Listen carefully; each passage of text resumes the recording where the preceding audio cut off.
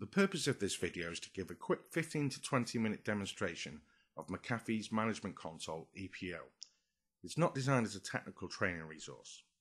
Full one-to-one product demonstrations which are more in-depth and tailored to your needs are available. Please ask your account manager to arrange one for you. EPO4 is a web-based console as opposed to the previous versions that were MMC based. This means that all users that want to administer EPO no longer need to install a console on each of their machines. The first screen you will be presented with when you log on is the dashboards. These are totally configurable and are unique to each user. There are stock reports that are shipped with the product and any user created reports can be placed on the dashboard. I'll give you a quick demonstration of how the dashboard can be customized.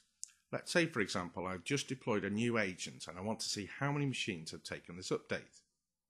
I currently don't have a report on the dashboard for this, so I can change the size of the dashboard to make space for more reports.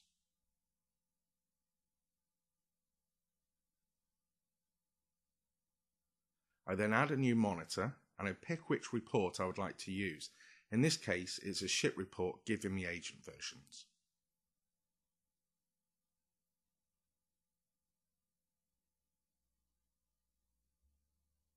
On this report now, you can see I have five machines that don't have the latest agent on them.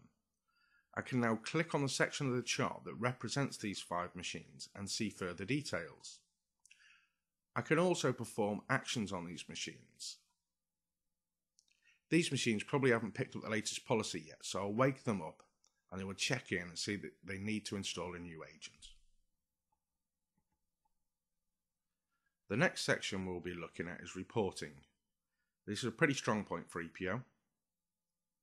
On the left hand side here we can see we have a long list of built-in reports for all the products that EPO is managing. We can also create our own reports from scratch using predefined templates or we can pick an existing report and edit them to tailor to our needs.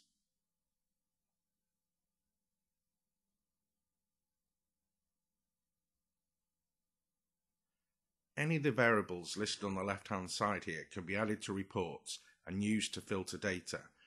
The variables range from product specific like versions and hotfixes to system specific data like free disk space and OS version. The server task log, as the name suggests, shows us any events that the EPO server has run. We can drill down to each of the tasks to find out details like the time run and if parts of the task failed.